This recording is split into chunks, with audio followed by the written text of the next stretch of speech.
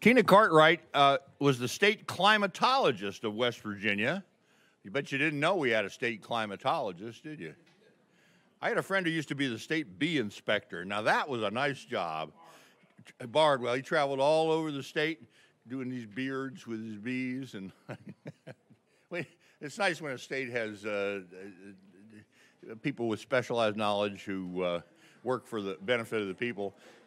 Um, Tina can talk a little bit about her uh, professional background. We've got it listed in some of the stuff, but at the moment you're working as a teacher, correct? Right there, I have it. Oh, here it is. Here's her. Here's her.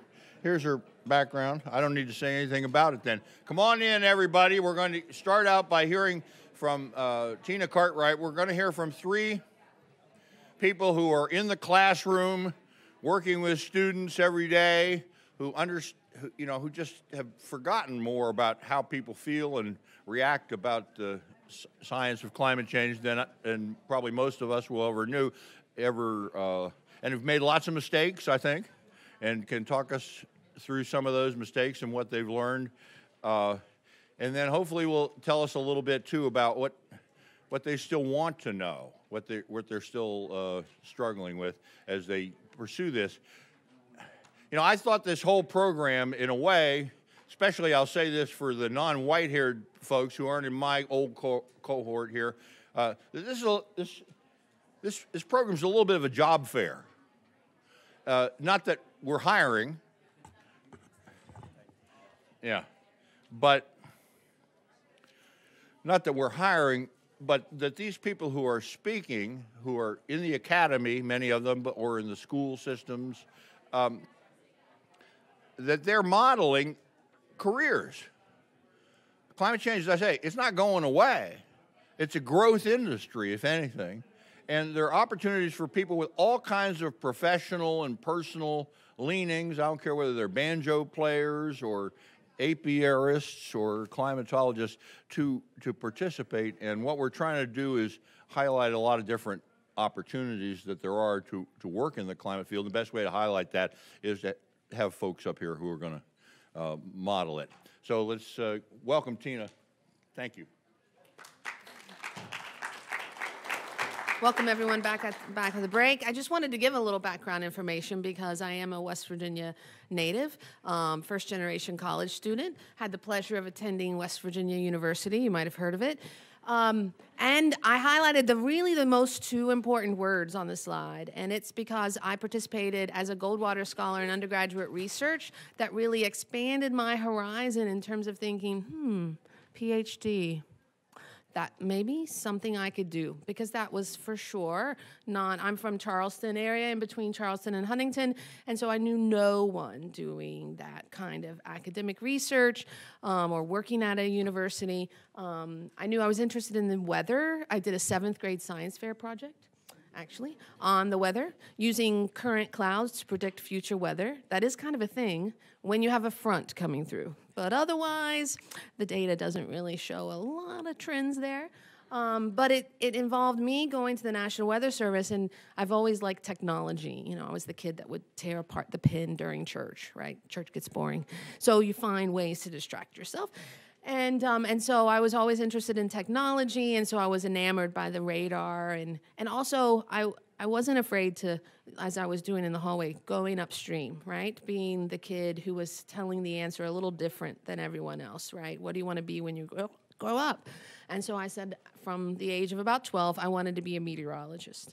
Um, and so I, I pathed that out, even through WVU. Um, I always tell my students now that I wrote letters. You remember the ones with stamps? Right to other colleges and universities to try to duplicate a program, um, at least the the prerequisites to go to graduate school in meteorology. And Ken Martis, I have to say wonderful things about my advisor in the geography department here at WVU was super supportive um, in that um, in that goal and that quest. And so it ended up. I received my doctorate in meteorology, but at that time I was becoming more and more involved in science education and outreach and coming back home to West Virginia.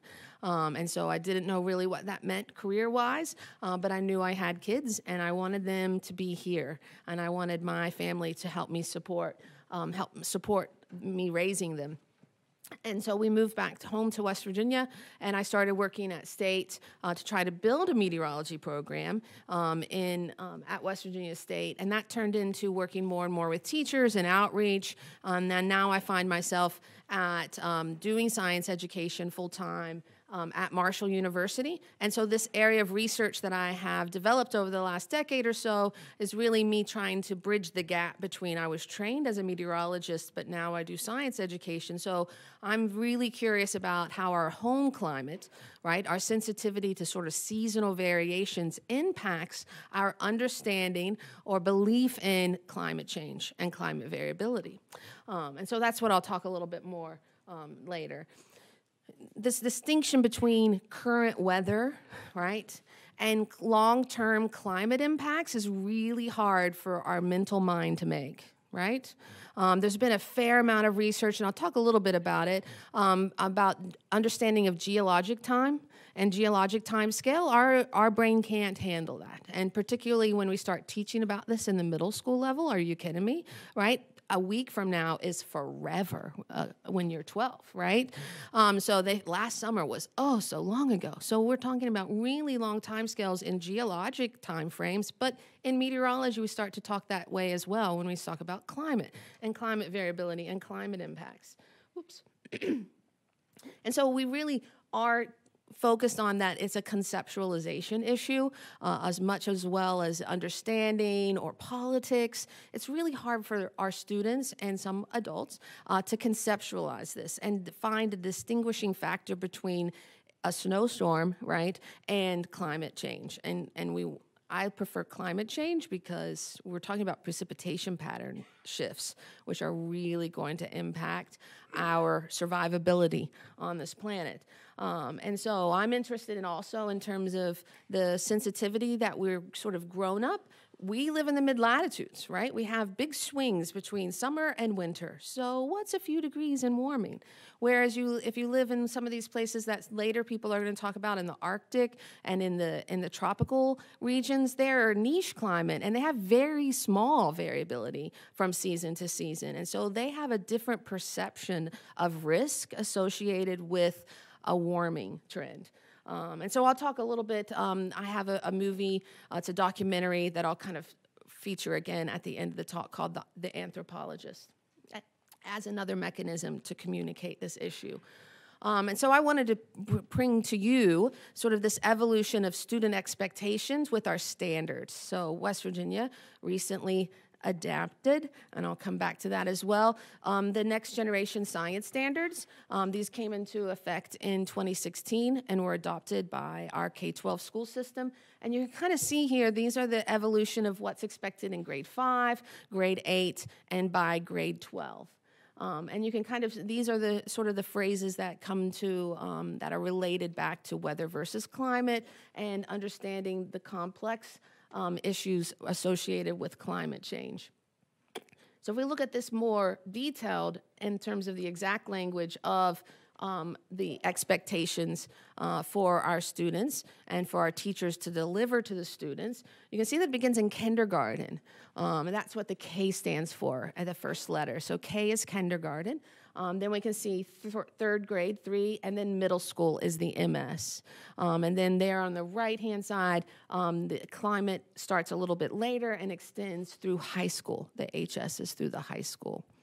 Um, and so by ultimately by high school, we're hoping that students have engaged in understanding how climate has been influenced by human activity, right?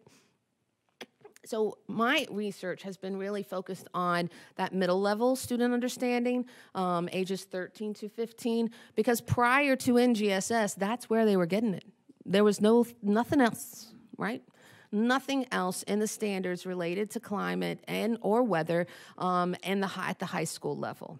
Um, and so it was really falling to our middle school educators um, and so my work, I was um, had the opportunity to build on a published work from Boone, and she looked at Australian and UK students at the same age at very different time frames in 1991 and 2001. And this was the sample. I, I will present some of my work that I took place in 2011 uh, with follow up to those same students in 2015 when they were in high school in terms of how did their understanding change or, or perceptions change about climate. And so that's what I kind of sort of outline here in sort of a three phase approach. Um, phase one, uh, comparing instantaneous 2011 students with Boone students in 1991 and 2001. Um, and then I was able to follow up with these same students in high school um, in 2015. And then now I'm beginning really to look at the student understanding after our implementation of the next generation science standards. Um, so I sampled um, students again that were in middle school prior to the NGSS implementation, and then they've just again did the survey um, as ninth graders after experiencing our middle school curriculum. And I hope to follow up again with them um, when they're seniors as well. So th- this is a, sort of a snapshot of a few answers uh, to the survey that myself and Boone, using her work, um, developed. And so for me, fundamentally, greenhouse effect, friend or foe? Right?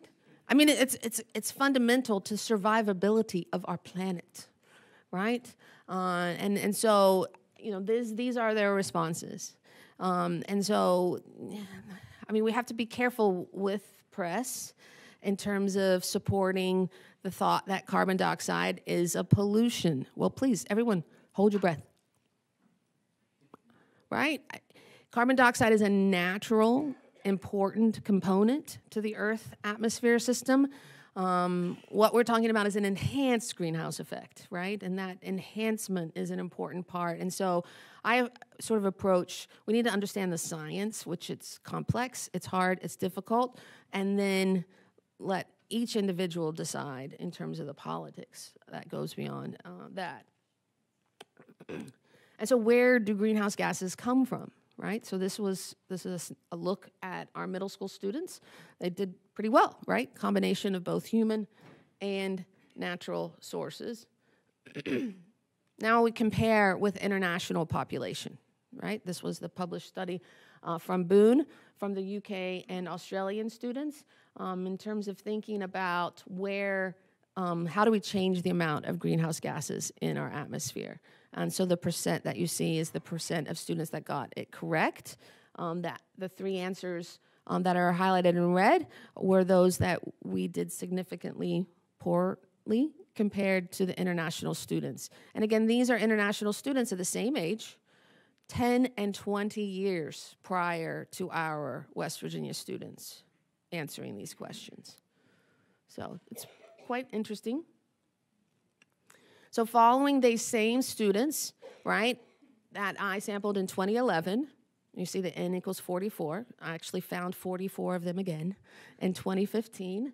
Um, you can see how their responses changed. So, this is how, again, we impact the amount of greenhouse gases uh, by burning of oil, planting trees, expanding the ozone, which is a common misconception related uh, to climate change um, using alternative energy, insulating buildings and structures, and driving automobiles.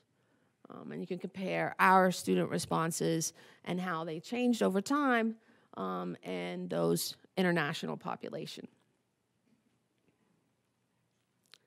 So we didn't do better than our international counterpoints, right? Um, so that's with our past standards based instruction. So maybe I can be optimistic. I don't know. Uh, with our current standards, unfortunately, they're a product of their educators, right? Um, and so, um, working with educators, working with those who teach educators, uh, to address this issue, I think, is most paramount, uh, particularly at an institution of higher education, which is training and preparing uh, those future educators. Um, and so, you know, again, supporting all of the research, these are the primary uh, recommendations and, and where they had difficulty across international. So, my recommendations, right, it's important for it uh, to take place at more than one grade level. Um, and, you know, we, we call it a learning progression. And so it should be an issue that is faced um, multiple times over the K 12 um, series um, with more and more complexity. And um, so we need to really focus on those aspects that are most commonly um, misunderstood. That we call them misconceptions um, related uh, to these issues because our teachers hold those same misconceptions. And so that's being perpetuated, of course, in the classroom. But it's undoubtedly, we have to recognize where our students come from, right? And in West Virginia, we come from a really unique place. Um, because, you know, when these standards were put up for public comment, there were very few comments until, right, someone someone made some changes to the standards language. And then suddenly we had, they put them out for comment again the second time, and there were thousands of comments, thousands of hits. And we had the unfortunate opportunity to be in the national level press, right? Um, and I think this comment, um, which was a response to our changing the language of some of the standards, um, the Board of Education saw fit to soften the language of the standards. You know, these were standards that were that we I was on the committee. Um, each of the states provided feedback to those who were writing the science standards. It was a very slow and methodical process over a two-year time frame. We had experts from all across West Virginia, um, both content as well as science educators, as well as other states as well, who were part of that writing team. Um, and so they were very well grounded in science as we currently know and understand it. Um, and so our Board of Education softened the language of several of the secondary science standards related to climate change.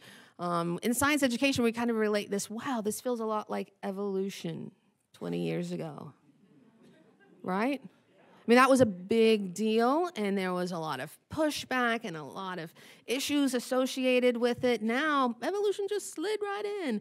Unfortunately, in 20 years, it might be too late for us to really consider a lot of climate change um, issues. And so I thought this was a you know, a really nice, thoughtful comment in response to the issues that our state leaders had with the standards.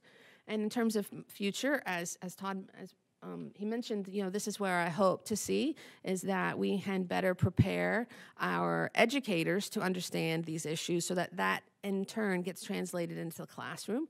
Um, with more clarity uh, so that we can increase, knowledge, even though that might not impact actions.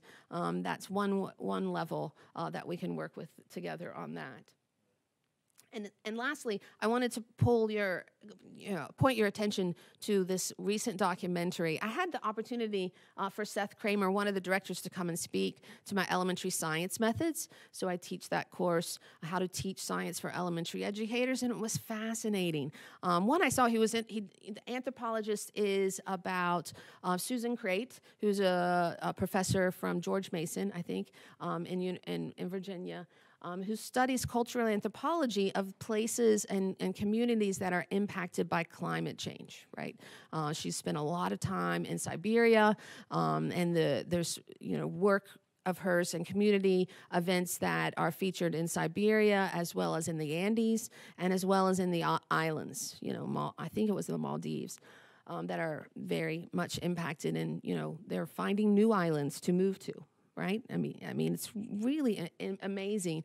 Uh, but the documentary is really a non-traditional um, approach to it because it's really through the lens of her teenage daughter um, that goes with her to meet these communities and about how she talks about this issue with friends down the street that are the same age and who who talk about i'm not sure my parents don't really seem to believe in it. And so they talk about that in a really non-traditional way. Um, and so i just wanted to call your attention to that. So when i had seth come into my class he's like i think what we do is a lot alike. We're trying to convince people who are kind of afraid of science that mm, this is something important and it's going um, and we need to think about it um, even though we might not fully understand and have all the knowledge, that's really difficult to achieve uh, for everyone. Um, we need to still talk about it and it be a part of our consciousness. So, anyway, I highly recommend um, it's on Amazon Prime for anyone who's a member. Um, uh, so, uh, it's called The Anthropologist. It just came out. Um, so, if you have any questions, I am on Twitter. Tina Cartwright is my hashtag. So, thank you. I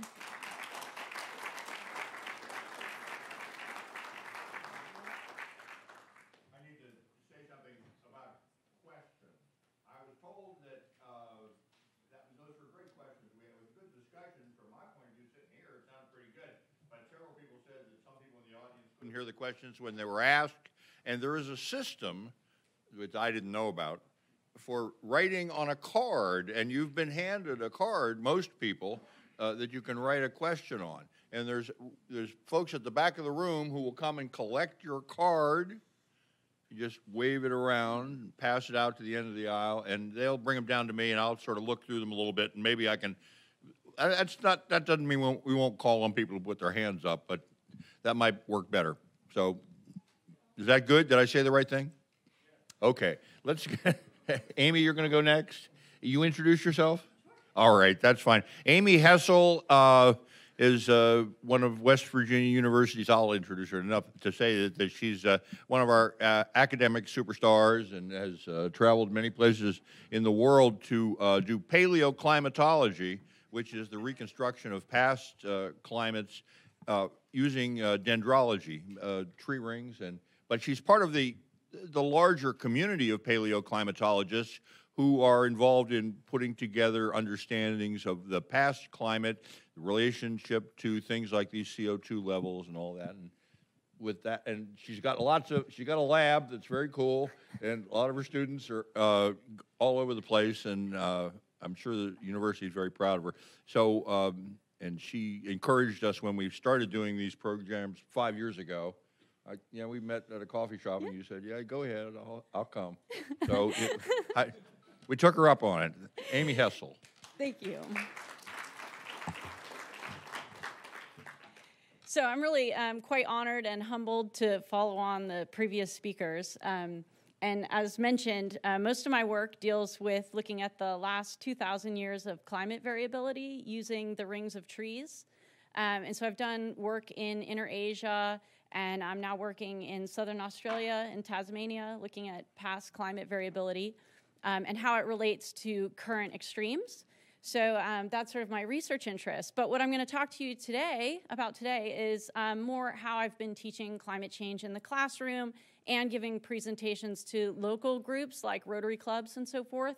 And um, over time, uh, so I've been here since 2001, and over time I've developed what I call the five slide slam dunk, which um, unfortunately isn't really a slam dunk. So, and I'll explain that. Um, I've basically developed like a very short presentation that I believe provides like the most important data. But as we saw from previous speakers, thank you very much, Dylan. Um, what's interesting is that I can give this presentation to someone who's really, you know, a, a real denier, and they will get on board. But 20 minutes later, they've slid back. So there's something really interesting about that, and um, I'll, I'll provide you with this presentation anyway, and then I think it's some sort of food for discussion afterwards, like what happens there, right? Um, so I give this presentation also in, um, ver- in different forms to my classes um, at the undergraduate level, so from freshmen all the way up to uh, graduate students who are in PhD programs. And my goal there is really to get people to the point where they can c- clearly communicate um, what the factual evidence is um, and be confident that they have the major pieces uh, put together in their minds so that when they have a conversation with someone, they can actually say, uh, well, this is the data, this is where you can see the data, and they can be confident about their explanation. So that's kind of my goal with this. So, how are we so sure? And I actually think this is a fairly simple science. I don't think it takes um, you know, a highly educated person to understand this. I think it's actually fairly straightforward. Uh, but I start off my presentation by showing people a graph like this with um, the y-axis removed. So, um, and I ask, do you think this is the Dow Jones? could this be Earth's temperature? What could it be pirates? Like, what is it? And then I just leave it, ooh, leave it there, okay? Um, then I'd like to address the following questions. So, how is it that scientists are so sure about this? Do greenhouse gases warm the earth? We can answer that.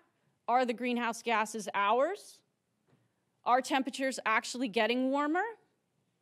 Are human causes of warming more important than natural causes? And does this matter? It's perhaps the most important question for people. So we've known that CO2 is a greenhouse gas and it traps heat in the atmosphere. We've known this since at least 1861.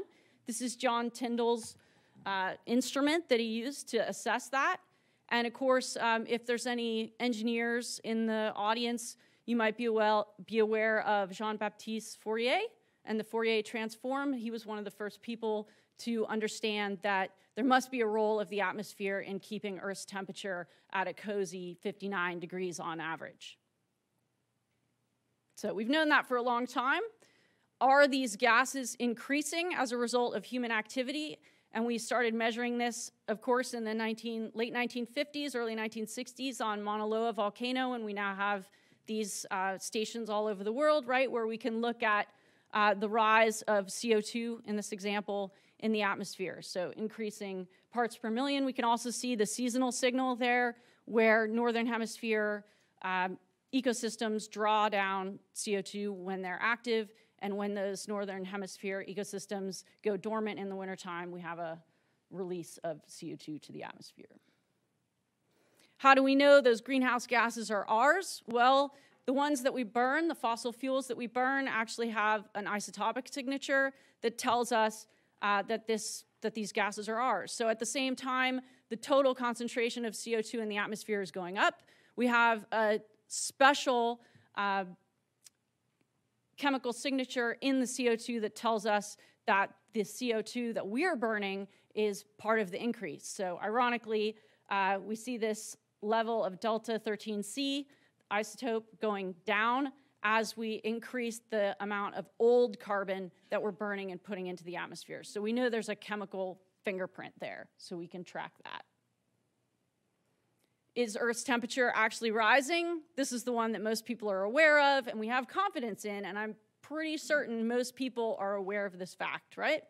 We can see the global mean uh, temperature estimates based on, here we have a NASA GISS for uh, total uh, land and ocean temperatures rising since the 1880s up to present time. We can also see um, some interesting patterns in that data set where we have a flattening in the 1960s and 70s, um, and then the most recent El Nino event as the peak temperature um, last year. And then uh, we can also see the seasonal changes occurring globally. So where we, if we look at, uh, on the right-hand side there, if we look at the NASA temperature from January to December, so we can see the seasonal cycle changing. The blue values are early in the record, and the red values are going to 2018. Um, so we know that we're seeing a changing seasonal cycle. Uh, and are temperatures warmer than they have been recently? So we can look, and this is where my you know, research area is mostly placed.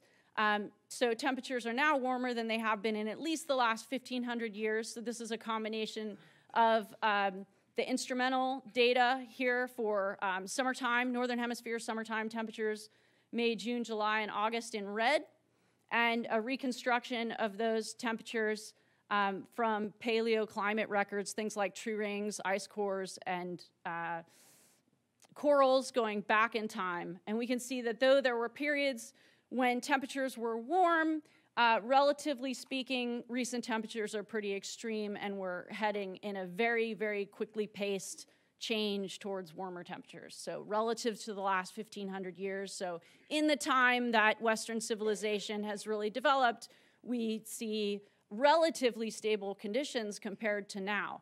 Now, there's some interesting deviations there that are worth talking about. So, we can see um, these peaks in temperatures during the medieval times in the Northern Hemisphere um, right around the year 1000. There's like some peak temperatures there um, that may rival recent conditions, uh, but they are only the most extreme um, estimates rival current conditions. Um, and then we can see temperatures, uh, the lower temperatures of the 1700s and 1800s that we think of as the Little Ice Age. And this is when um, you know the Thames froze over and things like that. So the small changes in the past that are dwarfed by current change, those small changes actually had big impacts on societies. So during the medieval times, you could grow wine grapes in England, and there were, there were actually fairly large changes to um, social systems at that time, and as well as the um, cold temperatures during the Little Ice Age having some societal impacts. Uh, so the AR5 is a suite of uh, climate models. And so those are estimated temperatures based on climate models independent of actual paleoclimate data. So just how the model behaves based on what we know about natural variability in the climate system. And we'll get back to that in just a minute. It's a great question. Thank you. So getting back to our original slide, we can now see that that in fact was not the Dow Jones, but it is global change in uh, temperature anomalies. This is a series of figures that will illustrate that uh, our contributions to recent warming are major given what we know about the climate system and its natural variability. Um, so this was produced by Ed Hawkins, who's at the National Center for Atmospheric Science um, at the University of Reading in the UK, and he's also an AP, IPCC AR5 um, contributing author. And he's got this great series that explains how we know that things like changes in the sunspot cycle or El Nino or um, longer term changes like um, uh, planetary geometry, like how those things are important, but not in this particular case. So here we have the model estimates based on um, only natural forcing. So everything we know about how the atmosphere works and its natural variability. And there's some interesting little um, dips in that. Those are some recent eruptions you might recognize, uh, Mount Pinatubo and so forth, and you can see the temperature decrease during those events in the past. So we have things like volcanic eruptions included here. But it's, we can't represent the change in recent temperature just given this natural forcing. If we add the natural forcing plus the anthropogenic forcing, then our models become much closer to reality. So the reality being that black line, which is the actual temperature of Earth. Um, and so we have a much better estimate if we include the anthropogenic forcing with the natural forcing. So does it matter? So that's the most important question for us to decide as, individuals and as as a society. Um, so if we don't reduce emissions, we can expect the planet to warm about 9 degrees C by 2100, or sorry, 9 degrees Fahrenheit by 2100. So this is the forecast, um, and there's some variations in that, those estimates. Um, but one of the things I like to tell students is that if, and I don't have the slide for this here, but the, the big change in our estimates of future temperature is actually what we do. So that's the most important source of uncertainty is what we decide to do about CO2 and other greenhouse gases. So the ending question, of course, is, is if it's real, why haven't we done anything? And this is the uh, topic that is of most interest to me when I'm talking to young people. So particularly freshmen, 18, 19 year old students. Um, this is, I think, after they finish seeing this presentation, they're like, well, gosh, why haven't we done anything about this? And this is where we can come back again to the Dow Jones. So, interestingly enough, if you compare the Dow Jones Industrial Average to temperature change, it's remarkably similar, right? And though I don't want to say like, okay, exact correlation, but there's been a number of studies um, looking at, you know, GDP and CO2 emissions, for example. They're tightly coupled, um, and there's a good reason for that. And I think it also explains to some extent why um, it's so difficult to make progress. So, like, a lot of us are sort of pointing fingers at the oil and gas industry. And yes, they've been like very guilty perpetrators, much like the tobacco industry, you know, that perjured themselves before Congress, right? It's a very similar phenomenon. But it's a much bigger problem than just the oil and gas industry. It's actually industry, period because it takes carbon and energy to make anything. So when we point fingers at a particular group, it's actually maybe not quite seeing the whole picture. Um, and so I just want to follow up with the most recent um, special report on climate change that the IPCC issued in um, October. Um, and so this is where they were looking at what is it going to take, what are, what are the effects of keeping temperatures at 1.5 degrees C above um, pre industrial levels versus 2 degrees C above industrial levels. Um, and the, I think the most important take home message there from that report is about the carbon budget. And I think it's useful to kind of go along with the financial model, thinking about the Dow Jones and thinking about budgeting, um, to look at what we need to do to keep temperatures at one and a half degrees C, temperature rise. So uh, we have to have net zero emissions by 2055. That's soon. That's, you know, in our lifetime. We're not talking about 2100 anymore, right? We're talking about 2055. We have a remaining budget of 580 gigatons of CO2 that if we don't want to overshoot 1.5 degrees C, that's what we have left to spend. Currently, we're burning CO2 at a rate of 42 gigatons of CO2 per year. So, who's good with the quick calculations? Yeah, so we have 14 years at our current rate. So 14 years to make a decision about what we're going to do. We don't even have that. We, we really need to make the decision now, right? But I think it brings home this message that um, we're not talking about what my colleague calls Coke Zero solutions, right? So Coke Zero is like, it tastes really good and it doesn't really cost you anything to drink it, right? It's like, yeah, it's good. No calories. No, does it have ca- caffeine? No sugar? Caffeine, no sugar? Huh? Coke, Coke Zero? So the problem with Coke Zero, though, is that you don't actually get the thing. You know, you don't get the Coke. So um, we don't have we don't have Coke Zero solutions here. We need like serious solutions, and that's something that um, that I also practice with my students. So we go through a whole semester of, of talking about past climate variability, current change, how do we know these things, and then the end of the semester they spend two weeks coming up with solutions, and that's perhaps the most interesting part of uh, that particular class is that they have to actually make some back of the envelope calculations about what it would take to get to net zero. How much solar exactly does it take? And I think that's the real awakening, even for students who are on board with this, is the level of change that's required. Um, and so we're not talking about um, small changes. And so that gets back to why it's been so difficult for us to take action. But I do want to leave on a positive note, and I do this with my class also. So I just would like to say that um, getting to net zero by 2055 seems really intimidating.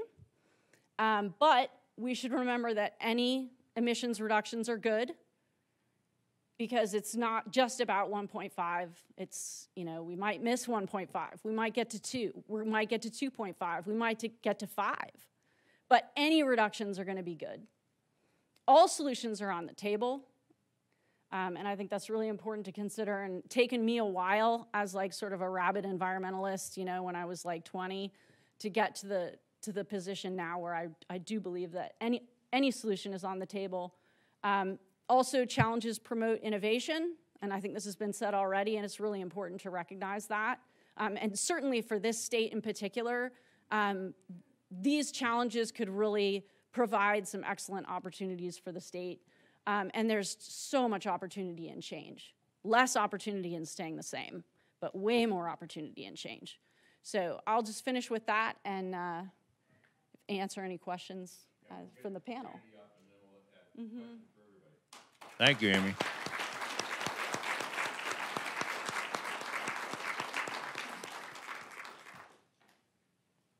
Brandi, um, I hope you got a PowerPoint you're going to use? Okay. Uh, yeah, I already put it up. Uh, while she's doing that, she's, I, um, I think Brandi was a student of Nick Zegre up here, weren't you? Yeah. Still am. Another cool lab, uh, climate conscious lab up here is run by a hydrology professor named Nicholas Zegre, who has uh, sent a lot of folks out into the world teaching and researching and doing all sorts of other things. Uh, but he really gets climate in a good way. And Brandi has been working specifically on hydrology, and she's a and and she's now teaching at Alderson Broaddus University down in Philippi. She's my neighbor in, in that area, and uh, she you presented at one of our conferences on the impacts of high, climate change in the Highlands and talked about your research there. I remember that. So I assume she's going to talk a little bit about that and also about her experiences now as a, as a teacher dealing with the climate change topic. Yep. Thank you. All right, thank you for that introduction. Yeah. Um, so before I start, uh, I do want to clarify what I'm going to be talking about. Get on the microphone a little bit more. Um, Good. okay. So what I want to talk about is how to teach climate change in the classroom so that students can see the data on their own. Instead of telling students what's happening, I like the students to figure it out on their own. And I do this through a sort of new concept called active learning, where the students are actually engaging with the material instead of me showing them graphs and being like, you know, carbon dioxide has increased a lot. I ask them, look at this graph. How much is climate change? How much is CO2 increasing? What's it doing? What do you think that means? Where does it come from? Talk to your group. Come up with some ideas. Come up with some solutions.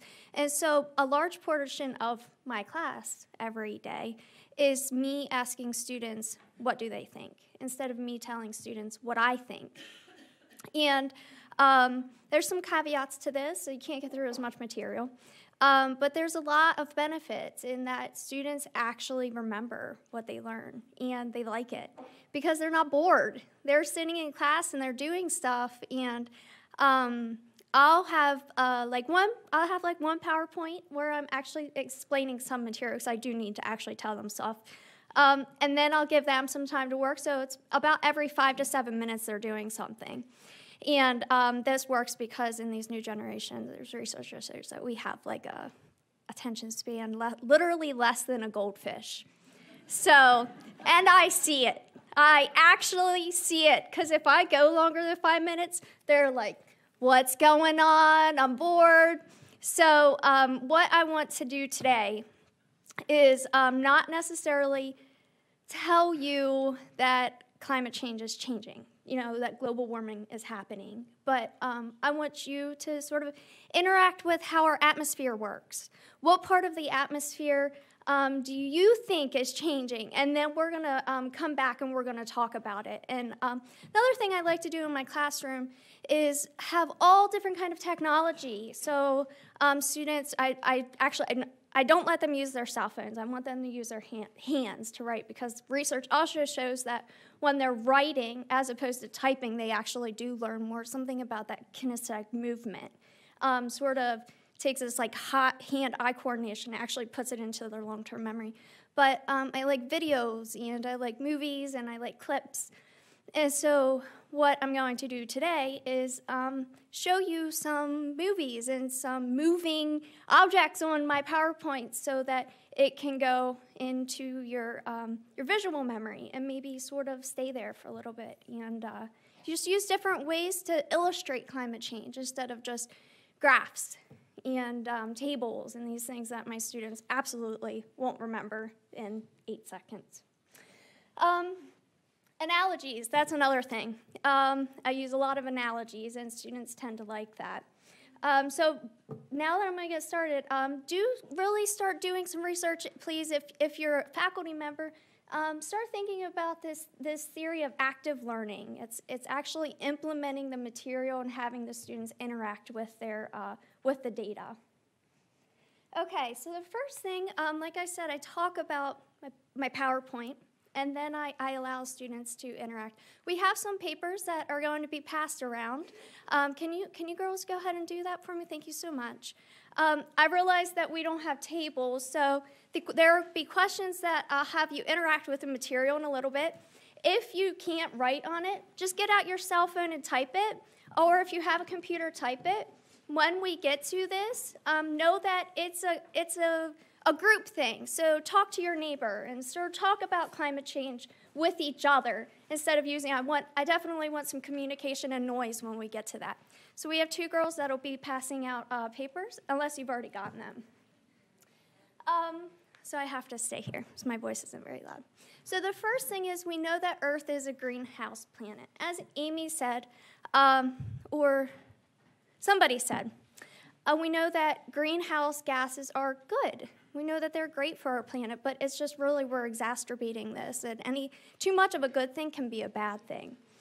Um, and so our atmosphere is really very complex. Um, and it's based on this energy cap, this heat capture system through the greenhouse gases. And I sort of like to use it as an analogy from um, as a car. So the thing that most almost everybody in America has probably has multiple is a car. Raise your hand if in the summer you ever opened the door and it was like heat just wafted out at you. So that's how, yeah, that's what our atmosphere is like. We have, in the analogy of a car, we have sunlight coming through our atmosphere. And then once it gets through our atmosphere, gets under Earth, it, it sort of changes. And once it goes back out into the atmosphere, it's stuck. And that's exactly what happens in a car. When light comes through our windshield, sort of changes. Once it gets into our car, that new energy is stuck in our car. And that's why it gets so hot in our car because once it gets through the windshield, it, it changes and it can't escape again. So it gets so hot in our car, same thing with our atmosphere. We have what's called uh, shortwave radiation that comes from the sun, goes to our atmosphere, changes a little bit once it gets to Earth and reflects, and then our greenhouse gases absorb all of that heat and keep that energy and that heat in our um, in our atmosphere, and it makes Earth a wonderful place to live. Obviously, if, if too much of a good thing doesn't become a bad thing. So, knowing this, and knowing that that is a super simple explanation for something that I don't even think know that scientists know the exact complexities of it. There's atmosphere is extremely complex. Let's talk about actually what happens in the atmosphere. So this is what it looks like. Do you know? Do we have a um, do we have like a laser pointer? Oh, okay. Great. Okay. So what um, what I want to do now is I want to talk to you about actually how our atmosphere works and where where uh, these greenhouse gases are working. I'm not going to tell you where the greenhouse gases are working. I'm going to tell you how this works, and then I want you to think where the greenhouse gas is working, and this is where the teamwork thing is going to come in. So first we have the sun, which is the yellow. Can't really see it. Um, the sun is yellow. 100% of our energy comes from the sun. Each of these numbers that we're seeing here is a percentage. Um, something really interesting about Earth that's a little bit different than some other planets is that we're an equal energy flux planet. So all of the energy that we get actually eventually will go back out into space. So all of these numbers add up to 100. You can see the exact inputs and outputs. So we have 100% of energy that comes from the sun. Uh, we have 23% right here that's absorbed by the atmosphere before it even gets uh, before it even gets to Earth. This is the kind of energy, for example, the ozone layer will will absorb and think the UV the UV rays that that the ozone is protecting us from our, our very good friend, the ozone layer, among other things. Um, and then we have 46% here that's absorbed by Earth. That's the heat that we can feel from Earth. Who's ever felt a rock in the sun in the summer and it's kind it's pretty warm? Anybody felt a warm rock in the sun in the summer? Yeah. So that's 46% here that's absorbed by Earth. And then we have um, 25% here that's reflected from clouds. So that's before it even gets to Earth. Sunlight hits clouds, it's reflected up. Never even gets to Earth. And then we have this really important 6% right here that's reflected from the surface. Um, and this is reflected from our snow. And, more, and white snow reflects more energy. And white snow does something that's really interesting in that it reflects energy. Who's ever, who's ever had a white T-shirt on in the summer and, and noticeably felt that it's cooler than where, when you wear a black T-shirt? So, it's the same with snow. So when we have our white t-shirt on, when we have our white snow, when we have white snow, energy is being reflected. And when that snow melts, it's starting starting to show that dark soil underneath, and that's absorbing more heat. And so over time, as our Arctic um, snow and other places starts to melt, this number might shift a little bit. But for now, this is how it is. It's a very important number and can contribute to climate change in a feedback system. Um, So, okay, so these numbers all add up to 100. We have 100% of energy from the sun, 23 is absorbed by the atmosphere from the uh, ozone layer and other things before it even gets to Earth. 46% is absorbed by Earth, our hot rocks. 25 is reflected from the um, clouds, goes back into the atmosphere, never even hits Earth. And then 6% is reflected from white stuff. 23, 46, 25, 6 all add up to that 100, okay? So we have 100% here. All of that energy does something in these little arrows that come off of this big yellow arrow. Of this 46% that's absorbed by Earth, this part that's absorbed by Earth, the 46%, is that basically um, that heat in your car. So we have 46% that um, goes back out into these red arrows right here. 37 plus 9 equals 46. So 46 goes like this, and it's absorbed by the atmosphere, or, and it's emitted back out into space. These little red arrows are the heat in our car. They get to Earth, they're absorbed by Earth, they're reflected in a different energy that's, that gets stuck in the atmosphere. So um, I'm going to go through that one more time. So, one thing that um, I've noticed from teaching is that um, you think that it sounds pretty, pretty easy, but then my students are like, I have no idea what you just said. So, I'm going to go through it one more time. We have 100% of energy from the sun. 23 is absorbed by the atmosphere, that's our ozone layer, other things. 46% is absorbed by Earth, our hot rocks in the sun. 25 is reflected from clouds before it even gets to Earth. 6% is reflected from white stuff. Of this 46% here, it goes into Earth and is reflected back out and gets stuck in our car. It's our, the hot air in our car. And then um, some can get stuck in our atmosphere, and some can just go right back out into space. It can make it through all of our clouds, it can make it through the four layers of our atmosphere, and it can just go straight back out into space and be see you, bye. So now what I want you to do is use those numbers I just gave you. Talk to your group. If you're sitting by yourself, get up, please, and, and sit beside somebody else. This shouldn't be an individual thing. Meet some new people. And I want you to answer the questions on your sheet. Should be these. What are the energy inputs and outputs? Where does our energy come from? Where does it go? How does those numbers I just tell you add up to 100? So we know that 100% of our energy comes from the sun. How does the where the energy go add back up to that 100%? You have two separate calculations here. You have your 100% from the arrow, and it's these four. And then you have a separate set of the amount of energy um, that comes from the earth and where that reflected energy from the earth goes. So, how does our energy inputs in the atmosphere add up to 100, right? And then once you've understood this schematic, so you need to start with something something easy, right? We, where does the energy come from? Where does it go? No numbers. And then how do these numbers add up? And then really start analyzing the schematic and think if well, increasing the greenhouse gases affects what part of the schematic? So, what part of this energy balance keeps the earth warm? So, we have this arrow, this arrow, this arrow, this arrow. So, we have six arrows, right? Which one of these arrows are responsible for climate change? Yeah. That's because we didn't talk about that. Um, that sort of goes. Uh, that that remember when I said that Earth is a really interesting planet in that we have uh, um, equal uh, flow of energy.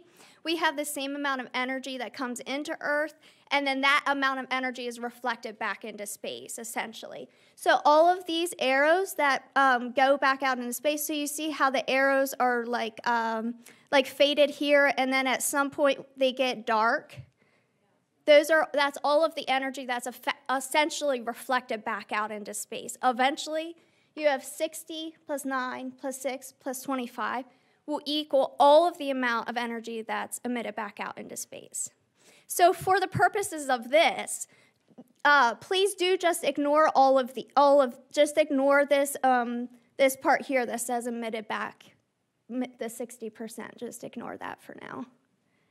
So for now, what we what I want you to do is I want you to analyze the part that I told you about. So 100% of energy is coming from the sun, 23% is absorbed by the atmosphere, and then you have these um, arrows. Talk to your group. I'm going to walk around and I'm going to talk to people and see if you're on the right track. I don't have much time, no. So um, this might go five fast. Five minutes. You have five minutes to do that. Okay, that's fine. I'm done. All right, so that um, that that's amount that's all the time we have. Know that when it comes to something this complex, I leave about 20 minutes in my class for the students to work through this. And I have a small class size. I only have 15 to 30 people in my class, so I can walk around and I can talk to everybody. Um, so know that having five minutes isn't enough. But um, eventually, you know, these students can really start to interact with this material and understand how the atmosphere works. Is on a very on a very specific level, understand where greenhouse gases um, are affecting our atmosphere. And so, um, to answer your last question, what I really want my students to get to is to understand that um, greenhouse gases are impacting the percentage of energy that is absorbed by our atmosphere.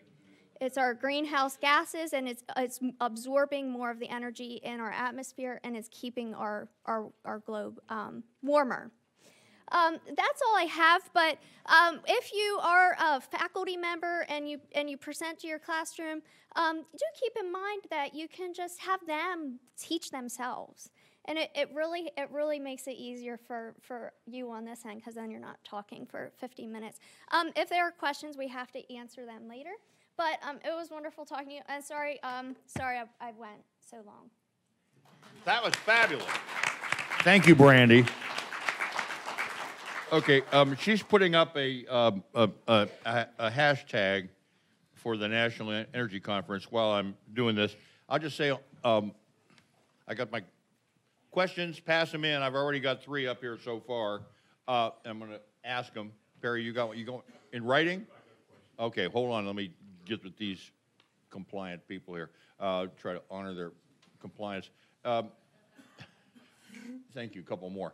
Um, by the way, uh, we, I've alluded several times to the fact that uh, Friends of Blackwater and our Climate Change and Impacts Initiative has been doing these kitchen climate science programs that uh, we, we've created three-dimensional models using colored rice grains and tennis balls, and they're all out in the hall there, and there's a teacher's manual, actually, which is goes on forever, but uh, it, it, it does contain the, the, the basics of how you can show this a lot of this stuff in three dimensions and nothing like being a photon and traveling from the sun to the earth and back and getting trapped by the greenhouse gases. I mean, this is some fun stuff, and uh, kids like to do it in classrooms.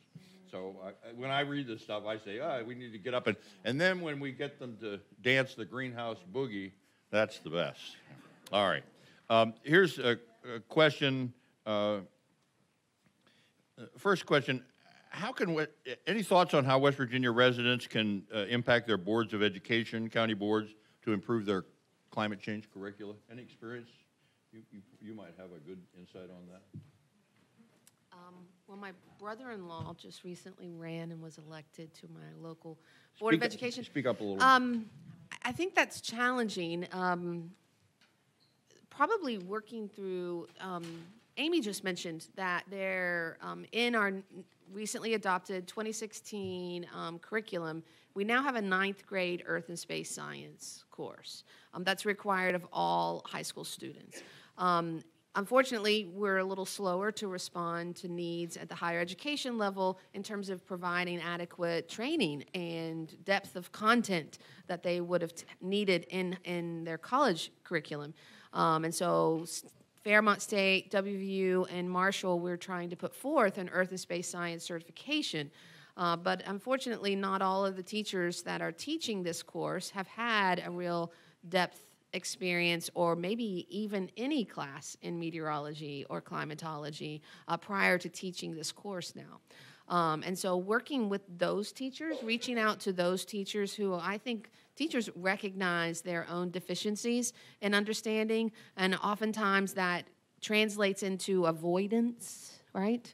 Um, they just sort of avoid the topic or assign students to read the chapter and you know how, the, how well that goes um, and, and so really reaching out working first at, with your local educators um, is how i highly recommend um, in terms of impacting your local local level the school board is another matter and outside of my wheelhouse All right, I, I want to just add to that. There are several uh, climate groups in West Virginia that are now uh, doing programs in schools that with, in cooperation with their uh, local school board, uh, climate education using citizen volunteers. And, you know, it, it, sometimes you get some pushback, but sometimes it's quite successful. In Parkersburg, they've been doing it a, a bunch, a bunch. Um, the, the, next question here, uh, Amy, uh, we got a quick question. Is that uh, C13 or 14C that is depleted due to radioactive decay? I had to ask that question. I have no idea what it means. So, yeah, so um, the old carbon has, you know, fossil fuel carbon's really old, right? So it's had a longer time period to decay. So it tends to be lighter isotopically. So, yeah. yeah. That's so it, the, it, the stuff that, that's like moving around in the atmosphere all the time is younger, right? So it's heavier. Uh-huh. Um, so that's why we see that change. Yeah. So, so, so this uh, carbon that I've accumulated uh, in uh, in me since uh, 310, when my cohort, is that old carbon or new carbon? Uh, that would be new. All right. Newer, I, I right. New carbon. Yeah. But oh, I, yeah. I picked so up some. You have that. I probably have on. some of that old carbon in, in me. Is what you're saying? No. I mean, I probably do. Yeah. Yeah. You. okay.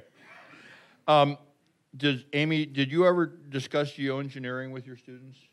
And you, as a um, meteorologist, also might. Oh, yeah, that's a really great question. So, geoengineering is something that I've always like sort of recoiled from right? But um, but I do have this policy in my class and for myself that um, that all options are on the table. So I think you know it's really important for students. Why, to, don't you just say stay. what geoengineering is? So Some people don't know it. Yeah, I, am sure there's somebody else who's better at explaining what that is than me. But um, yeah, these are like uh, engineered solutions to climate change. So it could be like. Um, how can we break down CO2 into carbon monoxide and um, oxygen or how can we sort of vacuum up you know the co2 that's in the atmosphere things like that. So so yeah seeding yeah, yeah. so th- that again that Im- immediately draws to mind our recently adopted next generation science standards now require our teachers to implement and incorporate engineering into their instruction at every grade level in science. So they have engineering expectations um, which was brand new right? I mean it came for those of us in the science world felt like it came out of like what? Um, but so that means again our teachers are underprepared in terms of presenting that to their students um, understanding it themselves um, so uh, that again is another avenue of reach that you can sort of reach out to your teachers in terms of you know i can help you with those engineering and technology standards that now are part of your curriculum that they've probably had very little prior expertise um, and experience incorporated in their instruction so it's another sort of avenue of entry into working and collaborating with your local educators. Yeah, we're going to hear some from some engineers this afternoon, actually, who are working on uh, reducing methane emissions here uh, this afternoon from WVU. And uh, let's see, Perry. I'm going to call him Perry. He has his hand up here.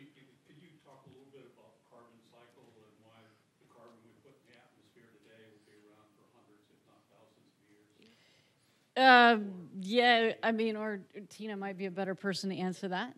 Oh, you, golly geez. Yeah, I mean, it, it's it's a slow process, right? So the carbon cycle, the active carbon cycle, is pretty slow. Um, so unlike um, so uh, unlike the uh, chemicals that break down the ozone layer that we've been pretty effective at dealing with, um, it's going to take a lot longer for CO2 to be sort of taken up, absorbed by the oceans, for example. So yeah, it's a longer term, hundreds of years at a minimum. Here's somebody, I got yeah, this person here. Uh, yeah, uh, Speak up. Dr. Hessl, uh, it, it, I agree with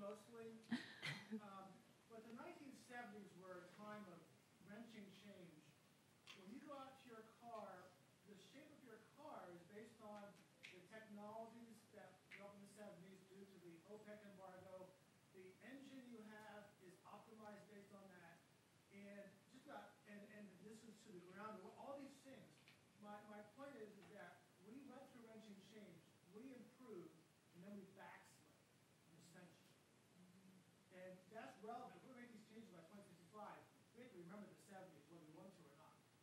So, um, so what's your? I'm not. I don't totally understand what the case you're making is. Uh, engines got more efficient, uh, uh, cars changed shape, we went. Yeah. Speed limits were fifty-five, Right. No, I remember it being in line for gas. You know, as a kid. So.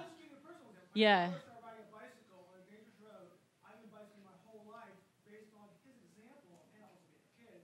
But I now ride a bicycle everywhere I can. I- I'm I'm an ambassador for cycling, bicycling, because of the seventies.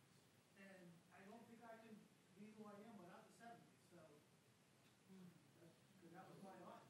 Well, there's some people here who just a gleam in somebody's eye in the 70s. Yeah.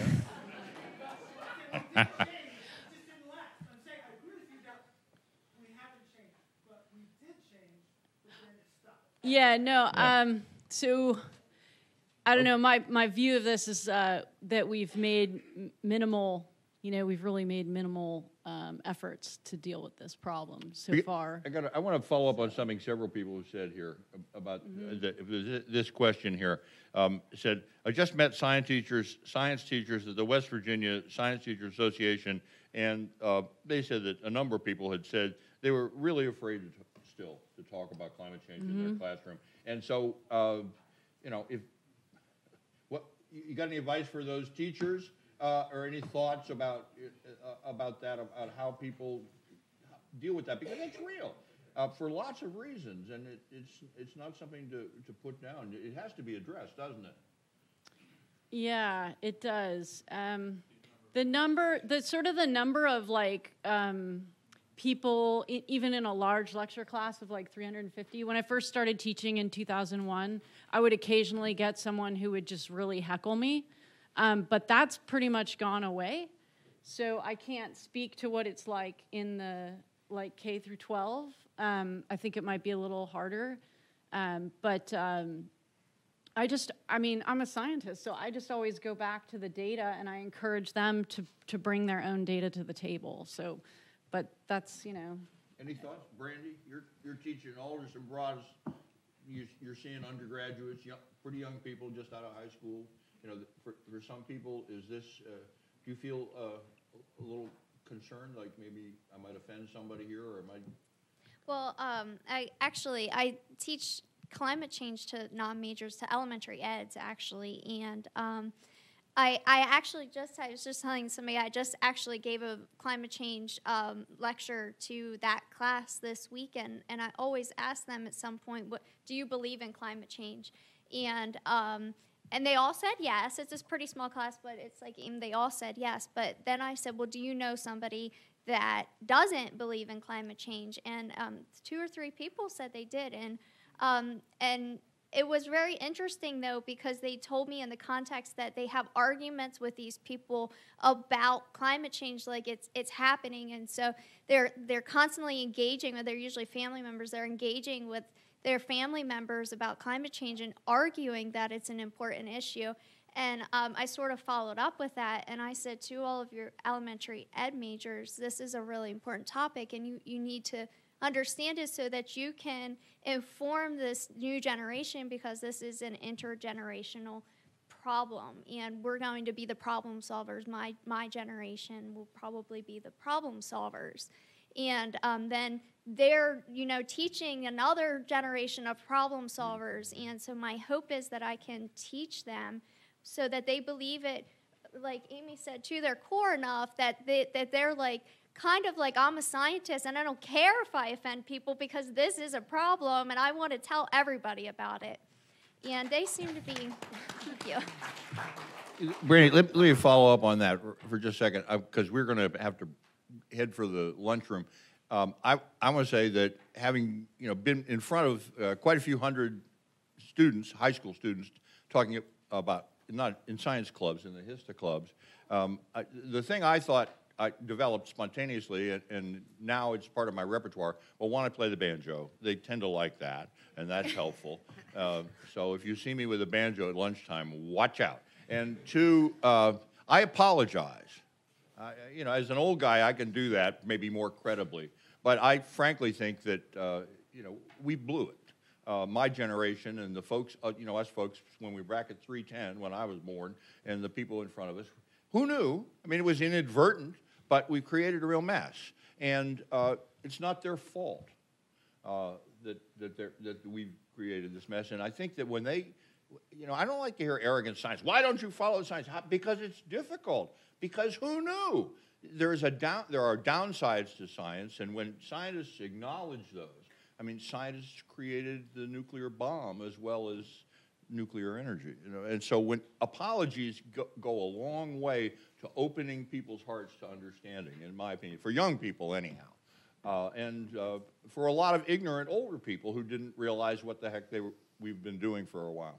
So I, I offer that uh, ad- advice that uh, leading with an apology and, uh, and under, it, it can be very helpful. Are we ready to go, Jamie? You want to say anything to everybody? Yeah. Um, lunch is gonna be down the hall in the major event space, the event hall. We're gonna have two buffet lines, there's a line in the lobby, and then there's also a line in the event hall space. So grab your food, and then we've got tables for two hundred and twenty-five people or so. And then we're gonna hear from Emily for our, as soon as, uh, half hour before for lunch, we're gonna do Emily. So if, even if you didn't sign up for lunch, there's lunch for you, right? Absolutely. Very good. Thank you. Thanks to this panel. Thanks to this audience.